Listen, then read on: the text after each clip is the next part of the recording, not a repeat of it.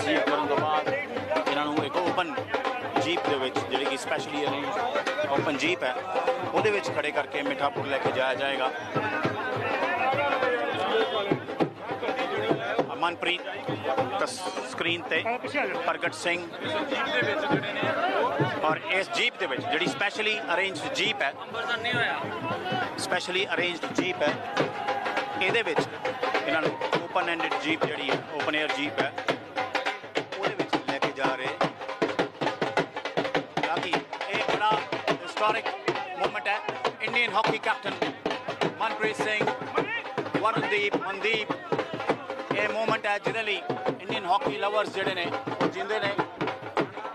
ਔਰ ਕਾਫੀ ਸਾਲ ਵੇਟ ਕਰਨੀ ਪਏ 올림픽 ਮੈਡਲ ਲਈ 41 ਇਅਰਸ ਇਟ ਟੁਕ 1980 ਮਾਸਕੋ ਦੇ ਵਿੱਚ 골ਡ ਮੈਡਲ ਆਇਆ ਸੀ। ਲੇਕਿਨ ਉਸ ਤੋਂ ਬਾਅਦ ਜਿਹੜਾ ਹੁਣ ਮੌਕਾ ਮਿਲਿਆ ਹਾਕੀ ਲਵਰਸ ਨੂੰ ਸੈਲੀਬ੍ਰੇਟ ਕਰਨ ਦਾ। ਇਹ ਬਹੁਤ ਹੀ ਹਿਸਟੋਰਿਕ ਔਰ ਵੈਲਿਊਬਲ ਵਿਜ਼ੂਅਲਸ ਕਿਸ ਤਰ੍ਹਾਂ ਮਨਪ੍ਰੀਤ ਬੁਸ਼ ਨੇ ਇੱਕ ਦੂਜੇ ਦੇ ਗਲੇ ਵਿੱਚ ਹੀ ਗਾਰਲੈਂਡਸ ਪਾ ਰਹੇ ਨੇ ਔਰ ਇਹਨਾਂ ਦੀ ਜ਼ਿੰਦਗੀ ਦਾ ਇਹਨਾਂ ਦੇ ਹਾਕੀ ਕੈਰੀਅਰ ਦਾ ਇਹ ਸਭ ਤੋਂ ਵੱਡਾ ਦਿਨ ਜਦੋਂ ਇਹ ਜਿੱਤੇ ਸੀ ਔਰ ਅੱਜ ਗੋਲਡਨ ਟੈਂਪਲ ਤੋਂ ਬਾਅਦ ਜਲੰਧਰ ਦੇ ਵਿੱਚ ਉਹ ਸ਼ਹਿਰ 'ਚ ਪਹੁੰਚੇ ਨੇ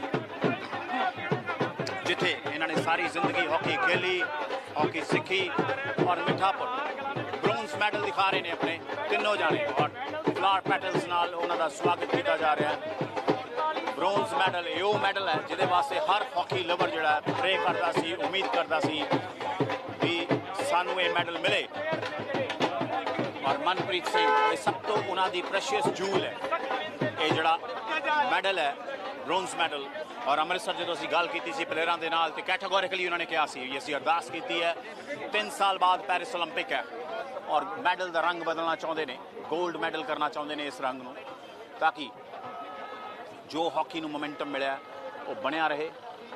ਹਾਕੀ ਲਵਰਸ ਦੀਆਂ ਜੋ ਉਮੀਦਾਂ ਨੇ, ਉਹ ਚੱਲਦੀਆਂ ਨੇ ਇਸ ਤਰ੍ਹਾਂ। ਔਰ ਜਲੰਧਰ ਐਂਟਰ ਕੀਤਾ ਜਲੰਧਰ ਐਂਟਰ ਕਰਨ ਤੋਂ ਬਾਅਦ ਹੁਣ ਉਹ ਓਪਨ ਗੱਡੀ ਦੇ ਵਿੱਚ ਇਸ ਤਰ੍ਹਾਂ ਬਹੁਤ ਜ਼ਿਆਦਾ ਨਾ ਵਿੱਚ ਉਤਸ਼ਾਹ ਆਪਣਾ ਮੈਡਲਸ ਦਿਖਾ ਰਹੇ ਨੇ। ਇਹ ਟ੍ਰੀਓ ਹੈ, ਜੇ ਮਨਪ੍ਰੀਤ ਮਿਡਫੀਲਡ ਬਹੁਤ ਇੰਪੋਰਟੈਂਟ ਰੋਲ ਪਲੇ ਕਰਦੇ ਨੇ। ਔਰ ਆਪਾਂ ਦੇਖਿਆ ਵੀ ਇੰਡੀਅਨ ਹਾਕੀ ਨੇ ਸੌਰੀ ਜਿਸ ਤਰ੍ਹਾਂ ਦਾ ਇੱਕ ਕੋਹੇਸਿਵ ਯੂਨਿਟ ਵਾਂਗੂ ਕੰਮ ਕੀਤਾ।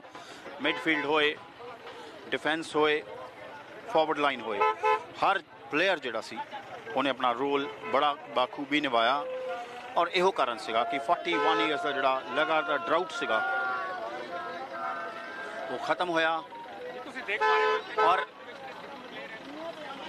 ਅੱਜ ਉਹ ਦਿਨ ਆਇਆ, ਜਦੋਂ ਜਲੰਧਰ ਦੇ ਵਿੱਚ, ਜਿੱਥੋਂ ਇਹ ਹਾਕੀ ਖੇਡਣਾ ਸਿੱਖੇ, ਉੱਥੇ ਘੁੰਮ ਸਕਦੇ ਨੇ।